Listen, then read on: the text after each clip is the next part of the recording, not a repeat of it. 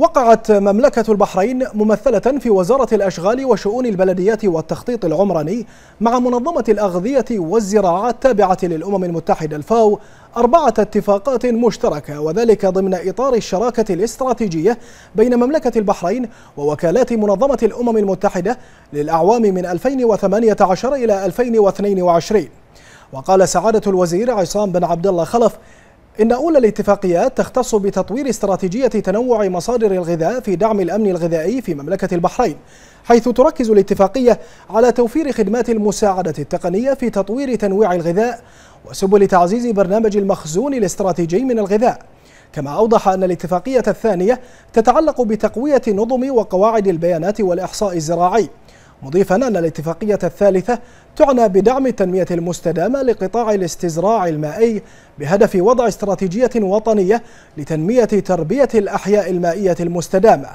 أما الاتفاقية الرابعة فتختص بمكافحة أمراض الحيوانات المشتركة مع الإنسان وتحسين السلالات الحيوانية. هذه الاتفاقيات والتي سوف تستمر حوالي 18 شهر وسيكون هناك برامج تدريبية آه، عملية ونظرية ما بين فريق آه، الخبراء من آه، منظمة الفاو مع الأخوة والأخوات في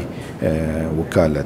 الزراعة والثروة البحرية وأيضا وكالة الثروة الحيوانية في الوزارة.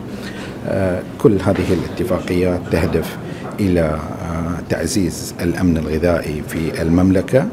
والمحافظة آه، وزيادة الإنتاج آه، النباتي آه، الزراعي الحيواني وأيضا الإنتاج السمكي. الزراعة والقطاع الحيواني وقطاع الأسماك لهم أهمية عالية في خطة عمل الحكومة 2019 2022 ليه ما هو أهمية في الحفاظ وإعطاء البحرين كل المقومات الفنية لأن يكون لها سياسة في بالنسبة للغذاء. آه، كما تعلمون البحرين بتستورد جزء من الغذاء. وبالتالي فهذه المشاريع ستقدر تقدم للبحرين تكنولوجيا وتقدم خبرات فنية في الأمن الغذائي في تحسين الثروة السمكية وتحسين القطاع الزراعي. هؤلاء يلعبون دورا مهما جدا بالنسبة للتنمية المستدامة وبالنسبة لتحقيق أهداف التنمية المستدامة آه، فنحن في الأمم المتحدة سعداء جدا بوجودنا اليوم في آه، هنا في قطاع الزراعة والثروة السمكية آه، بتوقيع هذه الاتفاقيات التي تهدف إلى نقل التكنولوجيا ويستفيد منها في الآخر سواء الذين يعملوا في القطاع الزراعي أو القطاع السمكي أو القطاع الحيواني وأيضا المواطن.